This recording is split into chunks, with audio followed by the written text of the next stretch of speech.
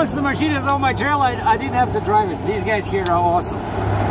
Got a surprise for you guys. Pleasant surprise. I just wanted to show you the real heavy haul rig. So this guy came after me. He brought this uh, dozer and a couple of blades. And I look at his trailer. This guy is massive, you know. He has four axles. So right away, right away, of course, I ran over and said, you know, can you gain anything with the fourth axle? Because I've been thinking about, you know, whether I should add the fourth axle to my to my um, trailer. And this guy, he says empty, he weighs 30 tons. So he was talking in tons. I think he means short tons. So he has a JC trailers. I know they made in, in Ontario. So he has a 20,000 pound steer axle. He says the push are pretty much the same as mine, four tires. But his uh, drives are large rubber. Right, he has a huge gooseneck. And then he says his trailer is uh, rated for 100 tons. 100 tons. And I asked him, I said, is it okay if I measure your axle in the back there? And uh, sure enough, they were all 60 inches. And as you can see, he has a, he has a air lift on the last axle. But so that's the heavy haul. Yeah, so this guy, he says uh, he can do, uh, you know, lots of weight, but then then of course the problem is that you become too heavy you know like you see and he's a day cab so basically he doesn't travel overnight probably unless they pay for his uh, well he says trucking and paving so he does he works for a company that does construction and so um, very old but very strong trailer like unbelievable has uh, folding rams all rusted but you know uh, nice D-rings, all bent, bent, not straight D-rings, but bent D-rings. You know? So that's how you haul heavy stuff in in Ontario, Canada. See, large spread, lots of axles. You know? And I've been here many times before, and it's very tricky to get out of this place. And you come through there, this is a cat dealer, and I said, "Is it okay if I back in here?" See, so I went in there and then I backed in here, like between the machines. I'm not in anybody's way, so I know here this is like a driveway. They always go through here. You see, this way, that guy, it's pretty tight in there. And now he's he'll go and turn around there. Um, but I can just leave from here. So, you know, every day you learn something in trucking. Like, that's what I like about this. Like, it's never boring. Like, you always see new stuff, you see new equipment and uh, just love this stuff you know uh, but I definitely yeah that that's not the trailer. Like for me I want to be light. I want to be as low as possible. I want to be as light as possible. And all I can do like with seven axles and Canada Ontario Canada is much more liberal than US all I can do is the heaviest load that would allow me to carry the load weight is 90,000 pounds. And I never once I did something like that. The heaviest one, if you remember, there was a video I did uh, crane housing. It was 87,000 pounds. And that was, it felt so heavy, but back then I had the 391 ratio, right? And I had the standard exhaust, like now my truck is much stronger, like it pulls much, much better. So now, and that was first time. So now I can do I feel I can I, I, I can be okay with a 90,000 pound load, but that's all I can, get. So 90,000, that's 45 short tons, right? And I got a 55 ton trailer, so.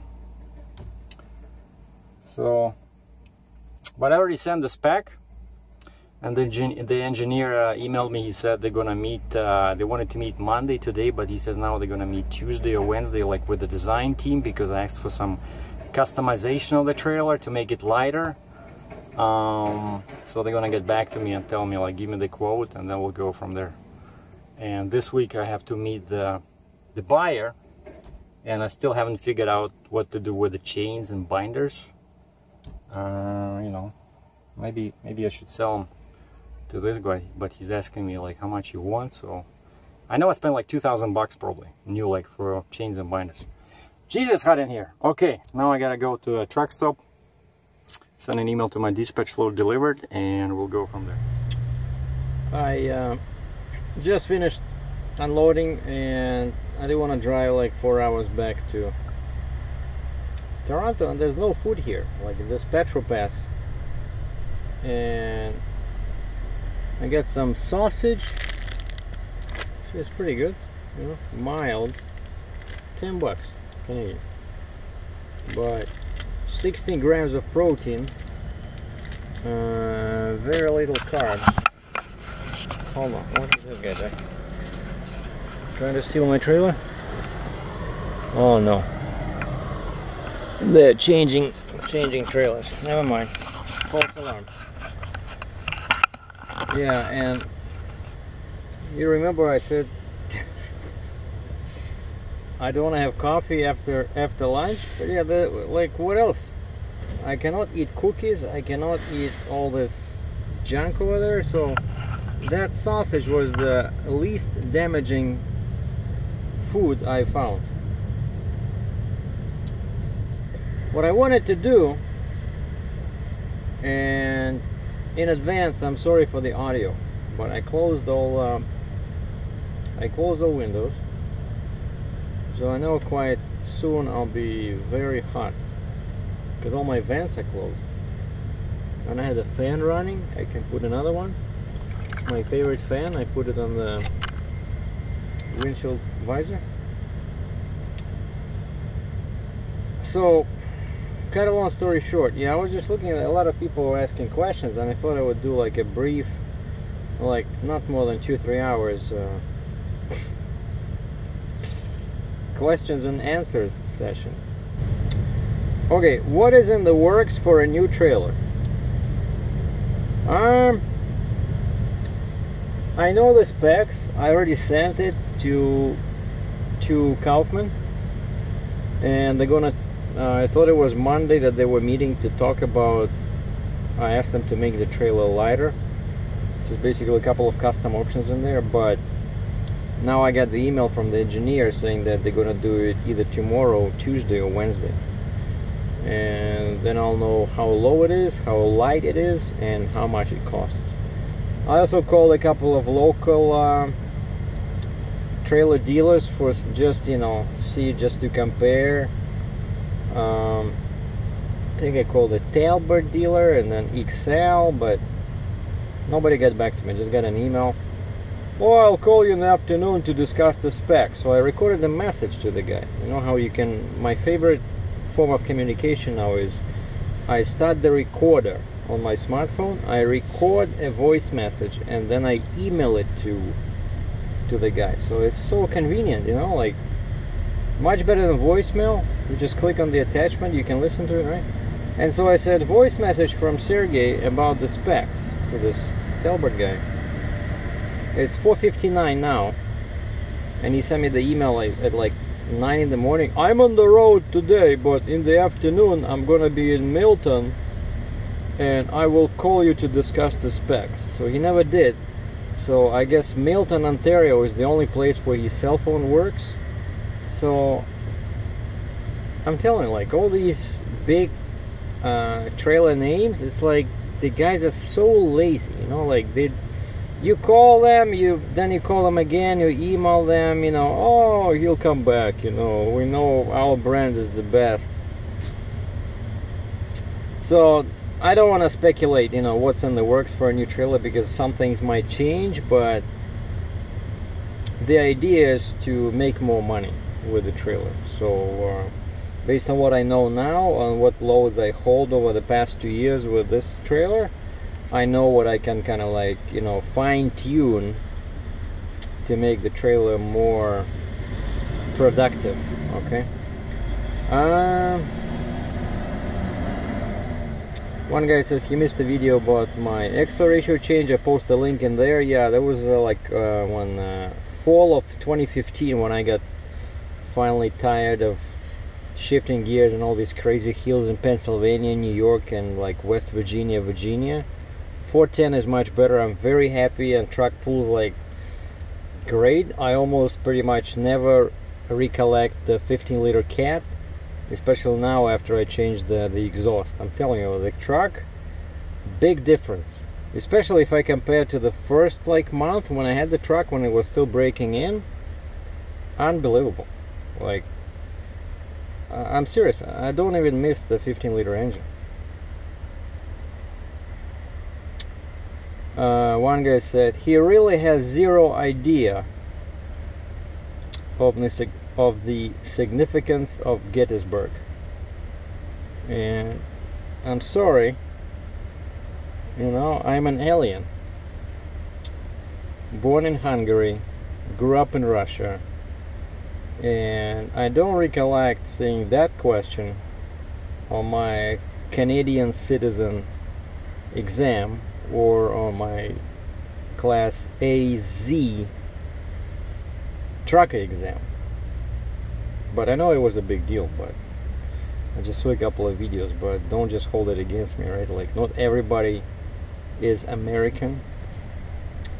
I hope you make some videos on buying a new trailer and picking it up and giving us a tour of it. And when I see people write it like that, I always wonder like how many people in the household are watching my my channel, you know? What is your top cruising speed versus RPM now with the lower gearing of 410 compared to what it was? Okay, I guess I can answer that. Well, first of all, a lot of people probably know that I don't drive fast. I always try to preserve fuel and I never changed my fuel computer. So from day one, including the, those uh, two, three bad months when I know the truck was pretty bad on fuel because it was breaking in, there was no power. Um, so from day one until today, and I got the truck in November 2014, so this November in 2016 will be two years. I now have about uh, just over 100,000 miles, 175,000 kilometers. Um, and so with 391, oh, and Mack says the best RPM range, like most fuel efficient range for this truck is 1350 to 1450 and a lot of people say that actually it's not that like 1350 forget that but it's more like 1400 to 1450 because it's a smaller engine right? It needs rpm so i'm just staying usually when i'm cruising at 1400 and all that's changed so i'm not changing i didn't change my rpm and that's a major thing that a lot of uh, people uh, you know don't understand. Oh you're gonna lose fuel when you change ratio. Yeah you're gonna lose fuel if you keep driving like 80 miles an hour right? But if you understand the, the implications of what's gonna happen like your RPM goes up right? When you switch from 391 to 410 I have this formula I knew exactly uh, pretty much like 90% what my RPM will be and before I used to drive a bit faster. I would when I was empty I would do like 100 kilometers an hour 62 miles an hour. And the truck would would have 1450 rpm at 62 miles an hour with 391 so now I, I pretty much lost like two miles. No uh, three miles. So now if I'm at 59 miles per hour I'm at 1450 okay so now 59 then it was 62 but I don't miss it. It's like the difference is negligible. All I do now is just that's what I, I, I keep my RPM between 1400 and 1450 and when I'm heavy and I go through some hilly terrain I know the truck needs you know like at least 1430 but 1450 is better. It pulls much better than at 1400 so with this one so with this 410 I do 57 miles an hour at 1400 RPM and I do 59 miles an hour at 59 and that's my cruising speed 57 to 59 so I drive slow because uh, I'm paid percentage. I'm not paid by the mile so the more fuel I burn the smaller my paycheck becomes. Um, okay uh, a couple of more questions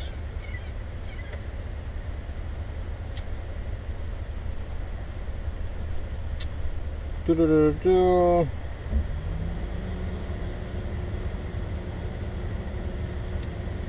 Uh, one guy says, I'm surprised Kaufman won't take the trailer on trade for you for the upgrade. Well, actually, that was the plan, but they told me right from the start that they don't do it, right? Because they do have a financing department, but you know, I'm in Canada, right? They're in the States, so it's two different countries. And again, some people forget that that you know they were very they were extremely nice to me uh, you know honoring the warranty even even though I'm across the border right so they replaced they fix their if you remember the orange trailer right so gray is the new orange watch that video um, and then when I had problems with the Honda they replaced the Honda I got a brand new motor which is like thousand bucks US you know? So that's why like my major priority is go back to Kaufman because they've been really good to me and I just customer service is unbelievable but the, and I, I did ask him so I said maybe we can do it like that you know like like you bring a car you take a car to a dealer and you upgrade to a new car right and they said they never did it like that but they will talk uh, they will they will talk to the boss to the owner. Um, and they just you know that's not how they do things. And that's fine. So I found I found a buyer. Um, I'm getting some money out of the deal that I can put towards the new trailer and make the trailer better now that I know what to change and uh, I saw like you saw that video let's talk about lowboy trailers. They changed the design of their trailer so now there's like for example like the D-rings. Like to me it's such a big deal because I work with them all the time and that's like major thing. A lot of people would not think twice about it but the new D-rings that at, at, the top of the deck it makes life of a trucker so much easier you wouldn't believe. And so yep everything's fine. So you know it's a plant right? So let's say you buy um, usually you have to work with uh, with a dealer where you bought the stuff when you want to do an upgrade right? Not with the factory. But of course in this case they do direct uh, sales um, and I bought the trailer directly from them but I guess you know they still want to separate like the dealership functions from the factory otherwise it'll be like too much hassle too much paperwork so I'm okay with that I'm just I'm just looking forward again to bobtailing. That was like I still I still remember like that trip when I bobtailed my my, my first and then my second lowboy trail. I bobtail there, you know, whistling, singing Russian songs, you know, enjoying the scenery of uh, southern U.S. And I go there and get my trailer, hook it up, and bring it to Canada. Well, I hope this time uh, I know all the tricks like what's required to basically import the trailer to Canada because it's not easy but I went through this once um, I can do it again but and but that's another reason why I was why I contacted some local crazy dealers in Ontario uh, because their trailers. You know when you buy something from them usually they just and, and you say you want to pick it up on the states because most of them are like uh, what is this? Talbert right? Talbert I think it's Indiana. Indiana or Illinois but somewhere like six seven hours from here and a lot of times when I buy trailers and I never bought a trailer yet that was built in Canada. They're all in the states like Iowa you know South Carolina Illinois Indiana. I always ask them that I want to go there pick it up because this way they they take like two grand off the price of the trailer. So why not? I already have the truck right? Why do I have to pay somebody to bring the trailer here?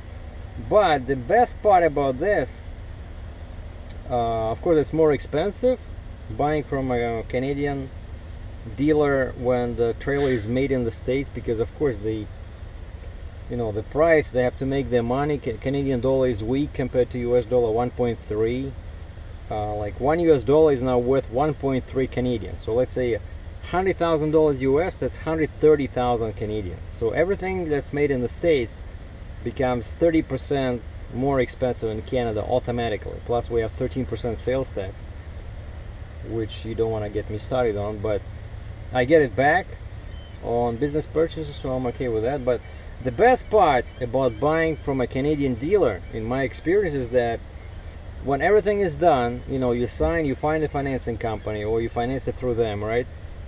Everything is ready, you give them the deposit.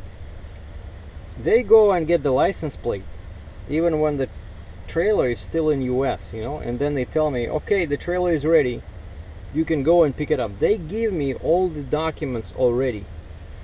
I don't think they're supposed to, but they're giving me all basically everything is already registered with Canada for all intents and purposes the trailer is already imported you know so they give me all the documents the registration the license plate and that happened like two or three times you know I go there I go to the plant I show them my paperwork show them a couple of videos from my YouTube channel gain a couple of new subscribers and screw the license plate on. And back then I think it was uh, the one I remember the three axle step. I, I think I went where Transcraft. I went to a Transcraft plant somewhere in Midwest but anyway so I was with Landstar so I did inspection I think they yeah they did it Landstar sent uh, they required this DOT inspection right from the plant so she uh, the lady emailed me you know the form I went talk, talked to the chief mechanic there at Transcraft plant. The guy did a quick inspection, signed it. I mailed everything. I emailed everything to Landstar, and I already had insurance, proof of insurance. I had the license plate already on the trailer. Boom, boom, boom. You know, half an hour, the trailer was already on the system, on the Landstar system, showing under my truck number, and with the new trailer number. So it's so much it's you know so less much less hassles basically when you buy locally. And that's of course that's a big thing you know. But South Carolina is not that far. I can maybe find it like a bobtail load going there right? And you never know but now I already talked to my dispatcher said that I'm transferring the trailer this week. Uh, the buyer is someone in the States on the way here. And all the paperwork is signed. And I thought I'm, i will do another short load but there's nothing. I'm still at Sudbury probably I'll stay here and I'll start driving tomorrow morning. It's pretty far like to, from here to Toronto like five hours you know? Uh, and so yeah the dispatch said uh, they'll give me one of their trailers. So now my percentage pay will go down by 10% but that's okay. At least I will not have a trailer payment for another six eight weeks. That's what it takes to have a new trailer uh, built. Okay one guy last. One guy says oh he left a comment under that. Let's talk about lowboy trailers he wrote that is a hang-up nightmare in the making. Unless I'm paid thousand dollars a mile I wouldn't even think about it. That's not safe. Uh, well if it wasn't safe these trailers probably would have a difficult time finding buyers because then people would be getting tickets and stuff like that. What's not safe is a mechanical detached 35 ton uh, trailer that a lot of old guys are so so in love with because that trailer especially when it's uh, loaded to the max it sits like one inch off the ground. And with that trailer it's not safe to go over the tracks because there's nothing you can do unless you install a custom uh, airbag um, height regulator on the truck. So there's no way for you to adjust the height you know? And quite often that's that's uh, how people get into trouble you know? And that's one of the major reasons why I got the trailer with hydraulic controls. Like on my trailer I can go like standard I, I keep it at 24 inches over the ground like the top of the deck so I have about 8 inches of the ground. I can go 2 inches lower I can go 2 inches higher or if it's a particularly dangerous situation as long as I keep the truck and trailer in one line I can raise it like this much you know? But then the trailer is not gonna be sitting on blocks. So Kaufman says you gotta have you can use that only like in emergencies you know? Uh, but I can still raise it all the way to the top like I said probably like a, almost like a flatbed trailer. But I cannot turn because if I start turning I can damage the trailer. But for a brief moment going in a straight line let's say if there's some you know big moose lying on the road and there's no way to bypass them I can do that. So hydraulic detached trailers are great. Mechanical a pain in the butt. And by the way mechanicals they're not lighter. I did a comparison. Uh, quite often they're actually heavier. They cost more nowadays. And it's a much bigger pain to to hook up and unhook because you have to do it twice you know? Like hydraulics are, it's a dream. Once you try hydraulic trailers you will never go back to mechanical. It's kind of like automatic and manual transmission you know? Anyway that's it.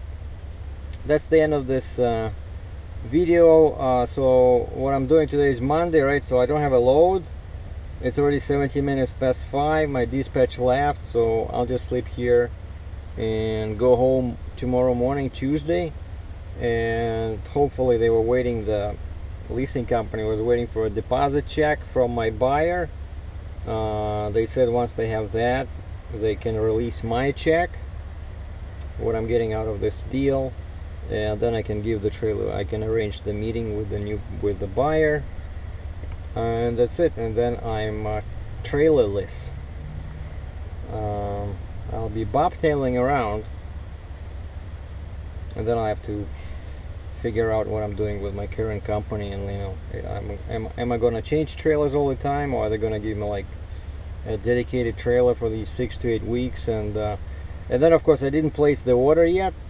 I have I'm waiting for Kaufman to I have little uh, hope that these guys from Talbert or XL are gonna call me back within the next week like they're just too lazy. Uh, so I'll probably 99.999% the next trailer will be Kaufman black three axles. Um, and basically yeah, I'm just waiting I'm waiting for everybody. I'm waiting for the check I'm waiting for Kaufman to give me the quote and they have to figure out how to make it lighter so that's what we're doing you know like uh, it's like a regular thing in trucking rush rush rush and then wait wait wait you know take care ciao до свидания